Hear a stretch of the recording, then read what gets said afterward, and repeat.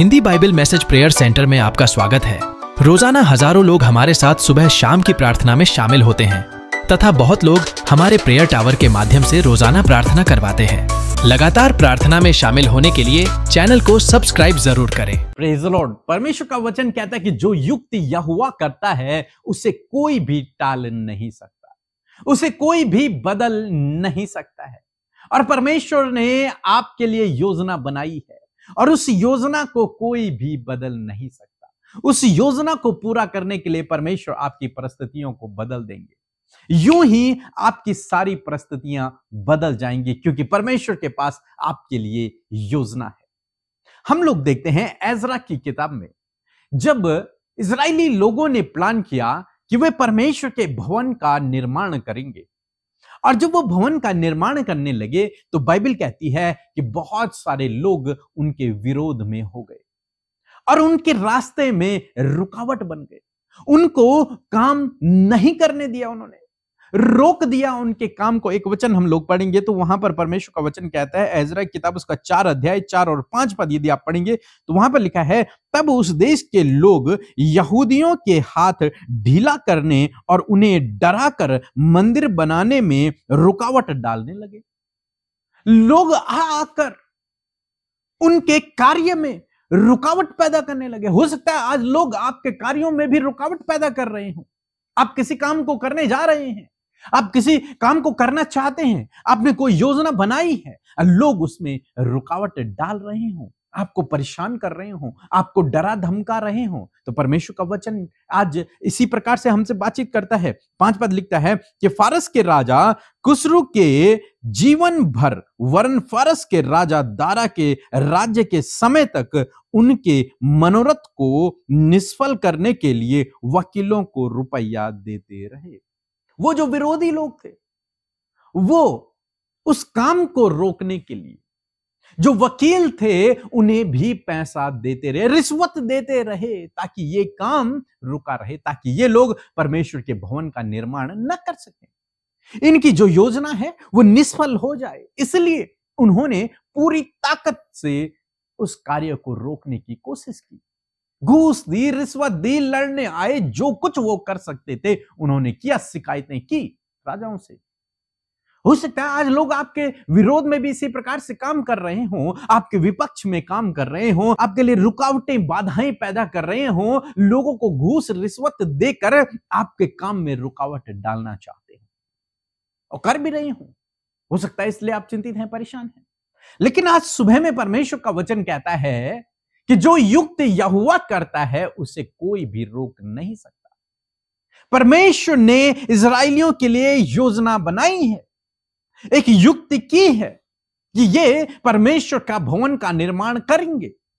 लेकिन रुकावटें आ गई, बाधाएँ आ गई हैं, विरोधी लोग आ गए हैं। क्या ये रोक पाएँगे उस काम को? नहीं रोक पाएँगे। एक वचन हम और और पढ़ेंगे।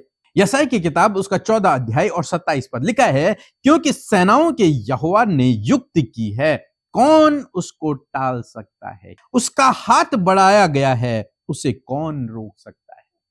अब परमेश्वर ने अपना हाथ बढ़ा दिया है, क्या कोई इस हाथ को रोक सकता है? नहीं, किसी के अंदर इतनी ताकत नहीं है जो परमेश्वर के हाथ को रोक दे। कोई भी नहीं। और अंत में परमेश्वर ने ऐसा ही किया और उन विरोधी लोगों को उनसे दूर किया और अंत में उन्होंने परमेश्वर के भवन का निर्माण किया। क्योंकि कोई भी परमेश्वर की योजना को रोक नहीं सकता, उसके हाथ को रोक नहीं सकता।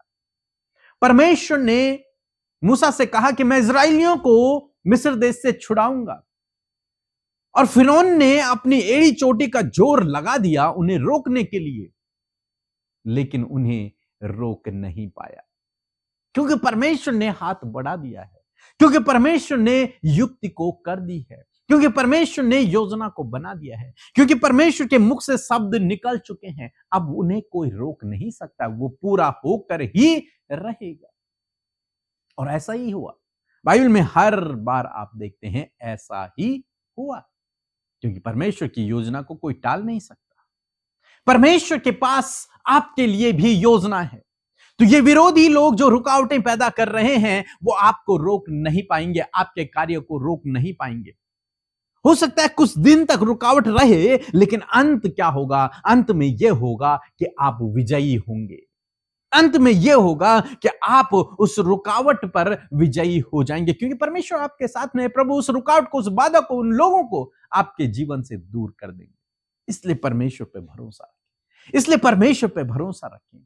क्योंकि उसे कोई रोक नहीं सकता। उसके हाथ पर भरोसा रखें, क्योंकि उसके हाथ को कोई रोक नहीं सकता। उसकी योजना पर भरोसा रखें, क्योंकि उसकी योजना को कोई टाल नहीं सकता, कोई रोक नहीं सकता उसकी योजना को पूरा होने के लिए। परमेश्वर के पास आपके लिए उत्तम योजना है। उस योजना पर भरोसा रखें। ये रुकावटें, ये बाधाएँ आपके जीवन से दूर हो जाएँगी। वो लाल समुद्र रुकावट बन के उनके सामने खड़ा हो गया, लेकिन क्या वो रोक पाया? नहीं। परमेश्वर ने हाथ बढ़ाया और वो सब साफ़ हो गया। उसने रास्ता छोड़ दिया। इसी प्रकार से प्रभु आपके जीवन में भी करेगा। समय का इंतज़ार करें। सही समय का इंतज़ार करें। आपको लड़ने की आवश्यकता नहीं है। उन विरोधियों से लड़ने की आवश्यकता नहीं है। अपना मुकदमा परमेश्वर के हाथों में दे। परमेश्वर आपके ओर से लड़ेगा। और जानते हैं, जब परमेश्वर आपकी ओर से लड़ेगा तो आप विजयी तो होंगे, उसके ऊपर आप सफल भी होंगे। प्रतिष्ठित होंगे और परमेश्वर के अद्भुत आश्चर्य कर्म को आप अपने जीवन में देखेंगे। सो प्रभु, आपको इस वचन के द्वारा बहुत आयत से आशीष दे। आमीन। पीके मसीह अमृता सिस्टर को जय मसीह की। मैं उड़ीसा से बोल रही हूँ और मेरा नाम माधुरी वागे है। मेरा पहला गवाही यह है कि मेरा हाथों में गांठों थी। उस गांठों से मैं चंगाई पाई हूँ और दूसरा यह है कि मैं बहुत पीड़ित हूँ, पीड़ित थी बीमार में बहुत पड़ी थी, अढ़ाई साल से बेड में पड़ी थी, तब मैं चलने, उठने, बैठने में बहुत प्रॉब्लम हो रही थी। उससे मुझे यीशु मसीह ने अभी बेड से खड़ा किया है और यही मेरा गवाही है जय मसीह की। मैं आशा करती हूँ कि आपने इस गवाही को सुनकर बहुत तायद से आशीष पाई है। आपके जीवन में भी परमेश्वर ने अद्भुत कार्य किए हैं। आप भी अपनी गवाही को हमें इस नंबर पर भेजें ताकि बहुत सारे लोग आपकी गवाही सुनकर आशीष पाएँ। आइए मिलकर हम प्रार्थना करेंगे, आप भी अपने विषयों को मेरे साथ मिलकर प्रभु के आगे रखें, प्रभु आपके लाइफ में कार्य करेंगे। आइए मिलकर प्रार्थना करें। धन्यवाद धन्यवाद धन्यवाद करते हैं पिता, हम आपका आदर और सम्मान करते हैं क्योंकि आप इस आदर के और सम्मान के योग्य हैं। धन्यवाद करते हैं पिता कि आप स्वर्ग में विराजमान हैं प्रभु। हमारी विनती निवेदनों को सुनने के लिए, आप हमारी प्रार्थनाओं को सुनकर उसका उत्तर हमेशा देते हैं, अब्बा, हम आपका धन्यवाद करते हैं। प्रभु, आज की सुंदर सुबह में जितने भी लोग हमारे साथ प्रार्थना में शामिल हैं, प्रभु, धन्यवाद, वो हर एक जन प्रभु आपकी उपस्थिति को महसूस करें। आपका वचन कहता है कि मैं तुम्हारे साथ में हूँ और आपकी उपस्थिति हमारे साथ में है। आपका पवित्र आत्मा जो सहायक के रूप में आपने हमें दिया है, वो सदा हमें आगे बढ़ाने के लिए हमारे साथ में है। पिता, आपका धन्यवाद कि तूने हमें अपने राज्य का नागरिक बनाया है। धन्यवाद हमारे गुनाहों को माफ़ किया है। धन्यवाद प्रभु, आपने हमारा उद्धार किया है। धन्यवाद परमेश्वर कि तूने अपनी स्वरूप और अपनी समानता में हमें बनाया है, हमें रचा है। खुदावन तूने हमें बहुमूल्य बनाया है प्रभु। मैं धन्यवाद करती हूँ। पिता, आपने हमें रोग मुक्त किया है। आपने अपनी सामर्थ से हमें भरा है। आपने परमेश्वर पिता हमने आशीष दी है, खुदा। मैं आपका धन्यवाद करती हूँ। आज हमारे साथ सुबह में जितने भी लोग शामिल हैं, खुदावन, हम आपके नाम से उन्हें ब्लेस करते हैं। रात भर में प्रभु आपने अपने पंखों की आड़ में हमें संभाले रखा। इस नए दिन में प्रभु हम सब जीवित रहकर तेरी उपासना कर पा रहे हैं। खुदावन, मैं तेरा धन्यवाद करती हूँ और विशेष कर धन्यवादी है आपके वचन के लिए जिसके द्वारा आपने बातचीत किया प्रभु। सच में प्रभु, आपकी युक्ति कभी भी नहीं टलती है। आपकी युक्ति, अपनी युक्ति को आप पूरा करते हैं परमेश्वर। अपनी योजनाओं को आप पूरा करते हैं पिता। जिस प्रकार हमने वचन को सुना प्रभु, उसी प्रकार यदि आज बहुत से भाई बहन प्रभु जो हमारे साथ प्रार्थना में शामिल हैं, उनके रास्तों में प्रभु लोग रुकावटें पैदा कर रहे हैं उनके घर बनने के लिए, उनके रिश्ते होने के लिए, और भी बहुत सारी रुकावटें प्रभु इनके जीवन में है जो मनुष्य के द्वारा आ रही हैं प्रभु। मैं प्रार्थना करती हूँ।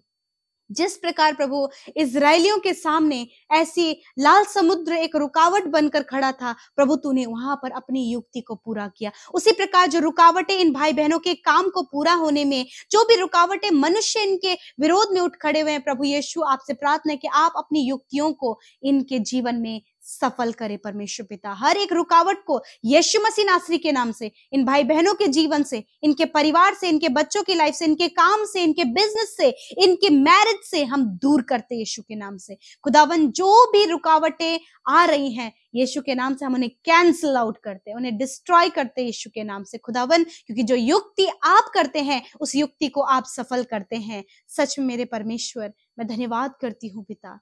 प्रभु, मैं प्रार्थना करती हूँ, इनके लिए आप रास्ते खोले प्रभु। मनुष्य इनके विरोध में है, परंतु आप इनके पक्ष में है, खुदावन। मैं धन्यवाद करती हूँ। आज जितने भी भाई बहन प्रभु अपनी विनतियों को आपके आगे रख रहे हैं, खुदावन, अपने बिज़नेस को लेकर, अपने लाइफ को लेकर, अपने वाइफ के लिए, अपने हस्बैंड के लिए प्रेयर रिक्वेस्ट लेकर, अपने बच्चों के लिए, उनके अच्छे भविष्य के लिए, उनके अच्छे लाइफ स्टाइल के लिए, उनके कैरेक्टर के लिए, उनके डिसिप्लिन के लिए, उनके चिड़चिड़ाहट के लिए बहुत से ऐसे निवेदन है प्रभु, जो इस समय तेरे लोग प्रार्थना कर रहे हैं।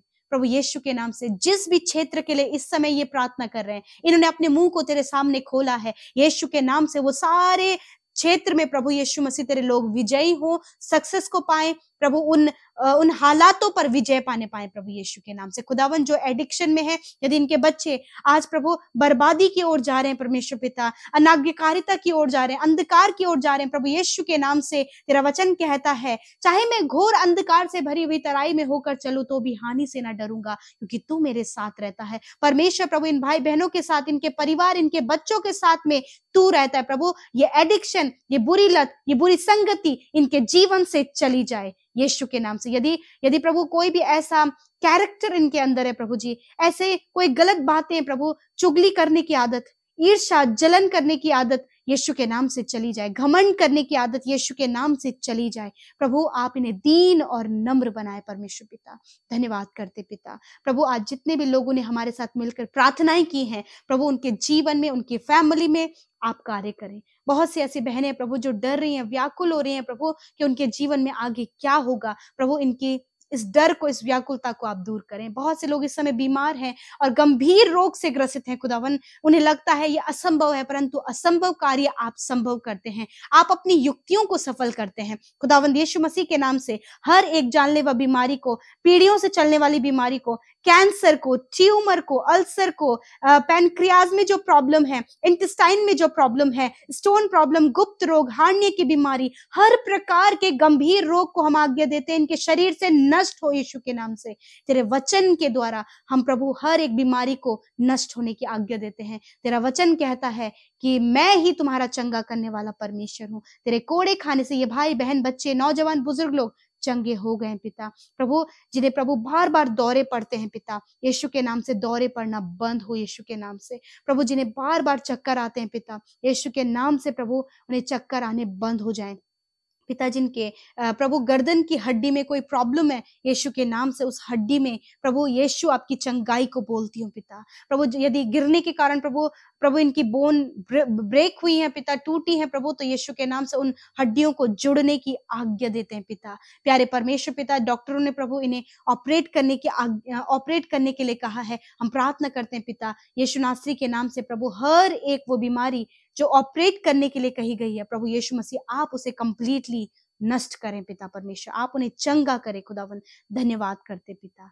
प्यारे प्रभु, इसी समय प्रभु, जितने भी लोग मेंटली प्रभु बहुत डिस्टर्ब है पिता यीशु के नाम से मेंटली स्ट्रेस मेंटली डिस्टर्बेंस इनके जीवन से चला जाए यीशु के नाम से। खुदावन, जो बच्चे प्रभु जी मानसिक रूप से प्रभु कमज़ोर हैं, प्रभु यीशु के नाम से मानसिक रूप से स्ट्रांग हो, प्रभु जिनके हाथ पैर काम नहीं करते, हाथ पैर काम करने लगे, वो चलने लगे, फिरने लगे प्रभु, वो बोलने लगे, देखने लगे, सुनने लगे प्रभु यीशु के नाम से। हर प्रकार का हार्ट का प्रॉब्लम हार्ट में ब्लॉकेज नसों में ब्लॉकेज खुल जाए यीशु के नाम से। धन्यवाद। बात करते पिता।